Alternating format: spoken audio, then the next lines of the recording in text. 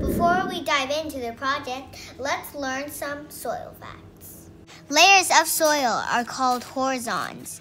The primary soil horizons are O to R horizons. Let's take a closer look. O horizons are made up of humus.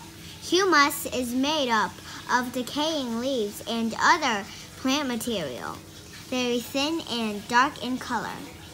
The next layer is A horizons. It is mostly made up of minerals with some organic material where plants' roots grow. Let's move on to B horizon.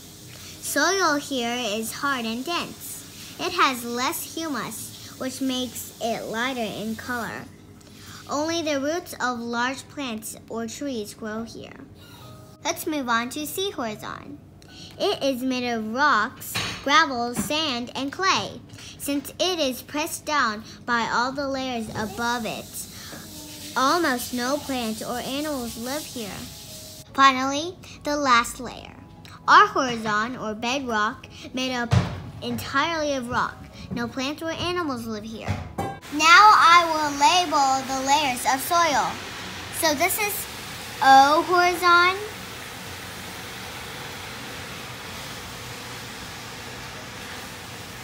This is A horizon.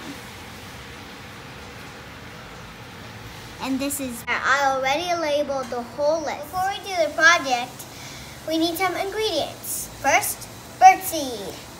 Second, cotton balls. Third, brown paper. Fourth, coffee stirs. Fifth, green pom-poms. If you don't have them, just use yarn. And then, at last, a plastic cup. Step 1. To the bottom of a clear cup, create a layer of bedrock by adding birdseed.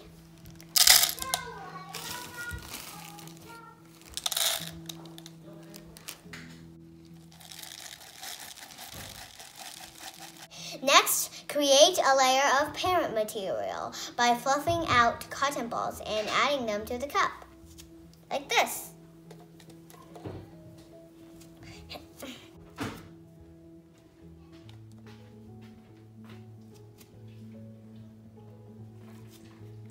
like this. Step 3. Cut brown paper into small strips and add to cup to create a, a layer of subsoil. So you open it and then you just pour a lot in there. Like this. Step 4. Create a layer of topsoil by cutting up coffee stirs into small pieces and add to cup.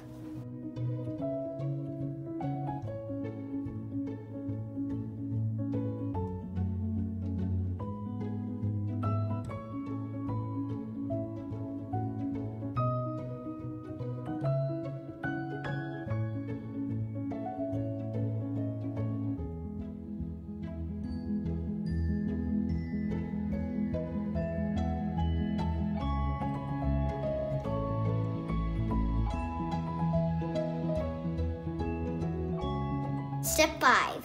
Add pom-poms or yarn to create an organic layer. This is the whole thing of soil. You see the green thing? That's called O horizon or organic middle. The second one is A horizon or topsoil. Then let's move deeper and then we see B horizon or subsoil and then C, and then we move a lot deeper, so we go like C horizon or parent material. Then the last one of all, R horizon or bedrock.